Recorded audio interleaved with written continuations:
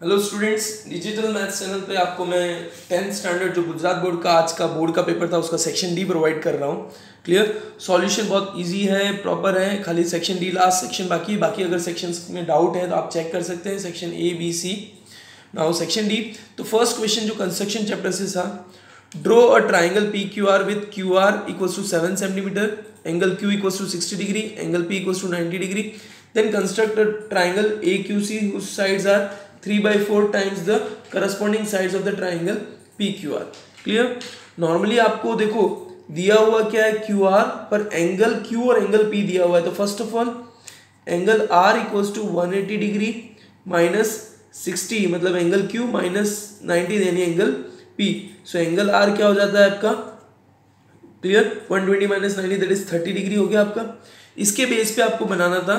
Basically so so, सबसे पहले क्या करना था आपको सेवन सेंटीमीटर की लाइन में नहीं उसको नेम दे दिया क्यू आर एंगल क्यू आपका क्या दिया हुआ है? सिक्सटी डिग्री तो एंगल क्यू पे आप सिक्सटी डिग्री राउंडर से आपको पता ही है सिक्सटी डिग्री कट करते हैं तो सिक्सटी डिग्री और एंगल आर पे आप सिक्सटी डिग्री बनाने के बाद उसका bisector that is thirty degree का बाइसेक्टर तो वो कुछ इस तरह से कट करता है तो पी क्यू आर ट्राइंगल आपका रेडी हो जाता. देन उसके बाद आपको three by four times means आपको एक एक्यूट एंगल लेना था। उसको फोर पार्ट्स में one two three four parts में डिवाइड करना था that is Q one Q two Q three Q four नीचे फोर है तो आर को फोर से ज्वाइन कर देना था। इससे पैरेलल लाइन आपको बनानी थी यहाँ पे। सो आपको मिलता आर डैश उसके बाद आपको मीन्स यहाँ पे नेमिंग सी दे सकते थे तो सी देन यहाँ पे इस लाइन से दैट इज़ आपका पी पी आर लाइन से पैरेलल लाइन बनानी थी दैट इज़ आपको मिल जाता है A Q C triangle similar triangle clear देखो, आपका एग्ज़ाम्पल जो था मतलब एक्सरसाइज इलेवन में इलेवन पॉइंट वन में तो वो कुछ इस तरह से आपका बन जाता था। So you can go through this खाली ये सेम सम है, लेकिन यहाँ पे thirty degree one zero five और फोर्टी फाइव उसकी जगह यहाँ पे सिक्सटी और थर्टी है, और यहाँ पे जो, इसमें भी सम में आपको एंगल ए दिया हुआ था तो यहाँ पे भी एंगल पी दिया हुआ था एंगल आर नहीं दिया हुआ था। सेम सम है clear so you can go with it then दूसरा था कंस्ट्रक्शन दैट इज़ ये आपका एक्सरसाइज 11.2 का क्वेश्चन नंबर सिक्स है।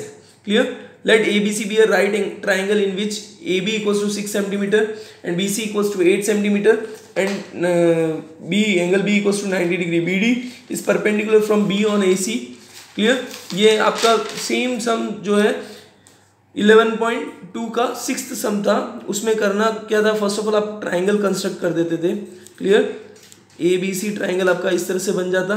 ए बी सी ट्राइंगल बनने के बाद आपको परपेंडिकुलर बाइसेक्टर बनाना था, जो आपको पॉइंट कुछ इस पॉइंट पे कट करता है उससे आपको एक सर्कल बनाना था। जो यहाँ पे कट करता है इसको ज्वाइन कर दो डी देन आप इसको सेंटर लेके मीन्स ए को सेंटर लेके बी को रेडियस लेके आप पूरा एक सर्कल बना सकते थे, जो कुछ इस तरह से सर्कल कट करता तो मतलब जो सर्कल बनेगा, वो यहाँ पे कट करेगा तो आपका टेंजेंट्स रेडी हो जाएँगे। एक ये मेथड है, दूसरे मेथड्स भी हैं। सो सेम सम आप देख सकते हैं, कुछ इस तरह से आपका कंस्ट्रक्शन होगा। क्वेश्चन इज़ सेम ये आपका एक्सरसाइज 11.2 क्वेश्चन नंबर सिक्स में से है। क्लियर देन आपको 36 question it is two water taps together can fill the tank in one hour and twelve minutes so दो वाटर टैप्स हैं। सपोज़ मैं ले लेता हूँ one upon X plus one upon Y और one hour and twelve minutes means देखो, ये एक जो सपोज़ लार्जर टैप जो है वो एक्स आवर्स में पूरा फिल कर रहा है और स्मॉलर टेप जो है वाई आवर्स में पूरा फिल कर रहा है। तो एक घंटे में वन बाई एक्स फिल करेगा और वाई वाला भी वन बाई वाई फिल करेगा। सो so, दोनों मिलकर one hour and twelve minutes ले रहे हैं। इसमें बोलूँगा वन आवर ट्वेल्व मिनट्स में सिक्सटी के रेशियोज में हम अगर कंसिडर करें तो ट्वेल्व वन ज़ा ट्वेल्व फाइव ज़ा सो रेशियो आपका इक्वेशन बन जाता है one upon y equals to यानी six by five clear now check कीजिए। अगर आप लोग ये दिया हुआ क्वेश्चन देखिए the tap of smaller diameter takes one hour more than the larger one to fill तो स्मॉलर डायमीटर जो वाई है, उसमें लार्जर ले रहा है तो हम लोग बोल सकते हैं इक्वेशन हो जाएगा one upon x plus one upon x plus one equals to six by five इस इक्वेशन को सॉल्व करोगे आप so x plus one plus x upon x square plus one equals to six upon five तो ये equation solve करते हुए जाओगे तो आपको इक्वेशन मिलेगा that is five x square solve आप सॉल्यूशन प्रोवाइड करोगे तो आपको सॉल्यूशन इसका मिलेगा that is suppose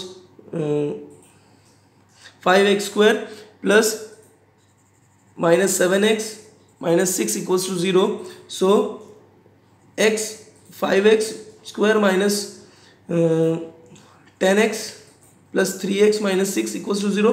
So आपका हो जाएगा एक्स माइनस टू और five x plus three equals to zero.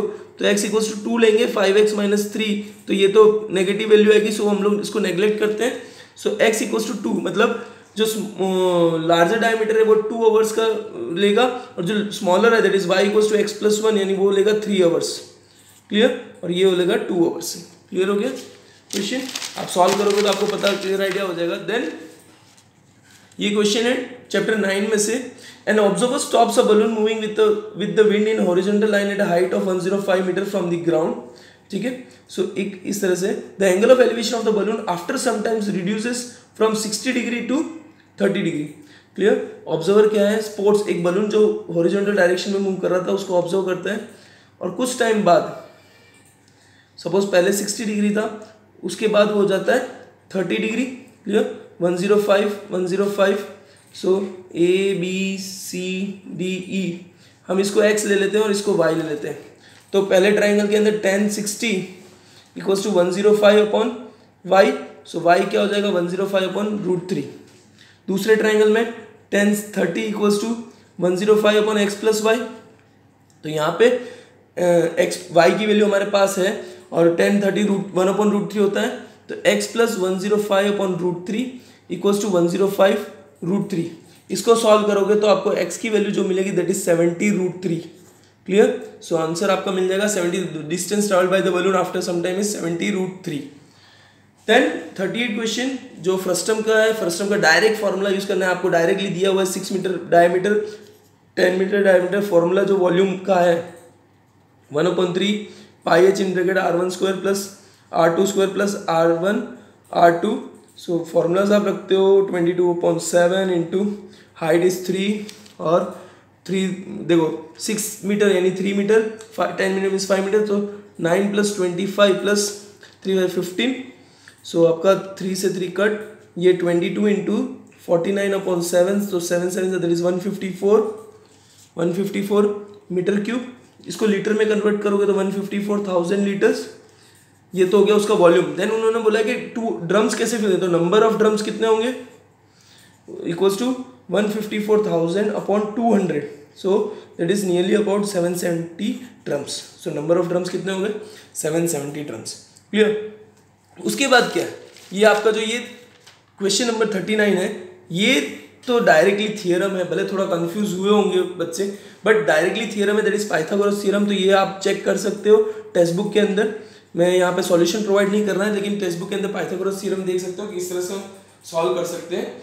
उसके बाद जो क्वेश्चन नंबर थर्टी नाइन ये दिया हुआ था, इसमें था एक equilateral triangle A B C जिसके अंदर बी डी एक लाइन है such that B C equals to three B D clear आपको प्रूव करना था A D square upon A B square equals to seven by nine so main cheese first of all हम लोग एक perpendicular line draw कर देते हैं. Suppose मैं उस नेम दे देता हूँ ई e. देखो A B equals to B C equals to A C ये तीनों इक्विलेटरल ट्राइंगल है तो इक्वल है. फिर B C equals to three B D दिया हुआ है. और सपोज़ इक्विलेटरल ट्राइंगल है तो जो परपेंडिकुलर ड्रॉ किया तो मैं बोल सकता हूँ B E equals to E C equals to B C by two और यहाँ पे बी डी भी जो हो जाएगा बी सी बाई थ्री यहाँ पे क्लियर हो गया। देखो A B equals to B C equals to A C B C equals to three B D दिया हुआ है। B equals to E C because E जो है परपेंडिकुलर है तो B equals to E C equals to B C by two और B D equals to B C by three अब हम लोग क्या ले रहे हैं? सपोज़ ए डी स्क्वायर देखो A D square equals to according to Pythagoras theorem A square plus E D square होगा। सो ए स्क्वायर तो हम एज इट इज़ रख रहे हैं। E D square E D की कोई वैल्यू नहीं है तो हम लोग लिख सकते हैं B minus B D so B E minus B D whole square so उसको लिखेंगे A square plus B square minus two B E B D multiplication में है प्लस बी डी स्क्वायर अब A square plus B square देखो A square plus B square यहाँ पे triangle के अंदर A B square equals to A square plus B square होगा तो ये भी हम लोग इक्वेशन यूज़ कर सकते हैं। तो यहाँ पे A square plus B square को मैं डायरेक्टली ए बी स्क्वायर लिख रहा हूँ। माइनस टू इंटू बी क्या है? B that is B C by two फिर into B D B D क्या है? B C by three plus B D means B C upon three whole square so, ये two से two cancel that is A B square minus B C square by three plus B C square by nine देखो B C square और B C square यहाँ पे है तो B C equals to A B लिख सकता हूँ क्योंकि तीनों के तीनों इक्वल है। सो so, हम लोग लिखेंगे A B square minus A B square minus plus A B square upon three upon nine इसका एलसीएम लोगे आप। So nine A B square minus three A B square plus A B square upon nine यहाँ पे A D square है clear equal to में। So A D square equals to seven A B square upon nine so A D square upon A B square equals to seven upon nine hence prove so section D का भी solution हो चुका है। मैंने इस तरह से आपको चारों सॉल्यूशन दे चुके हैं। डिजिटल मैथ चैनल पे आपको चारों सॉल्यूशन मिल चुके हैं। सो गो थ्रू इट और कोई कन्फ्यूज़न हो तो भी आप वापस कमेंट कर सकते हैं। Thank you thank you very much